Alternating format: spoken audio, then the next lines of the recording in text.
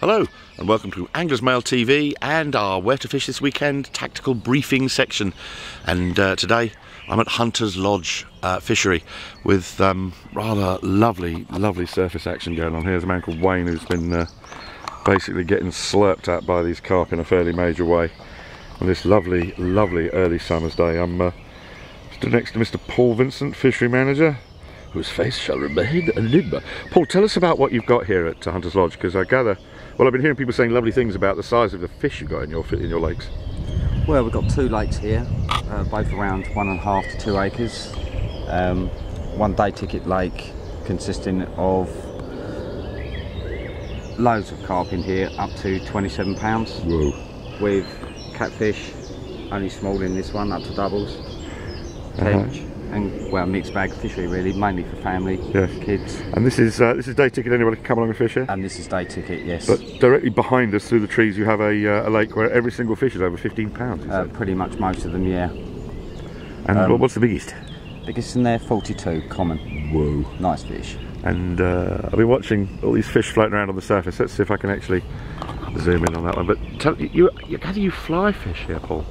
Um, evenings is best for fly fishing. Uh, dog biscuits, they will actually take a dry fly. Uh huh. Um, great fun. Wow. Could stay watching this geezer all day. I'll be dreaming about this tonight. These big, fat, lazy carp floating around on the surface. The fish are clever. Yes.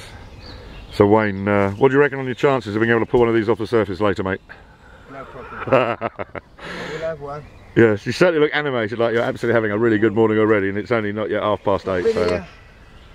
Three weeks on the trot and, I, and it's the first three weeks I've been here and I think they're brilliant and that's why I've been coming back here because I've had three weeks of good fishing. Well, Top two man. weeks of good fishing and this will be my third.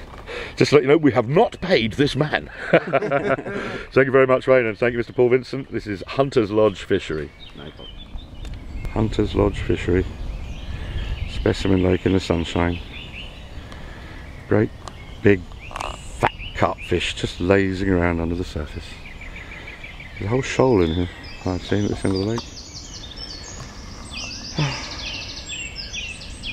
I do love this job, but it doesn't often make your thumbs itch. Just a little extra on the Hunter's Lodge fishery video. This is Specimen Lake. No more than six people at a time. Everywhere you look, great big fish. Let's zoom back in there and well no idea, I can't really see on the camera if I'm capturing that or not. Whether we've got reflections, but anyway, absolutely exquisite lake. Lovely fishery, very family friendly as well. There's a uh, lovely picnic area being laid out at the top. Adam Rayner signing out for a second time from Hunter's Lodge on Anglers Mail TV. Wishing I was fishing.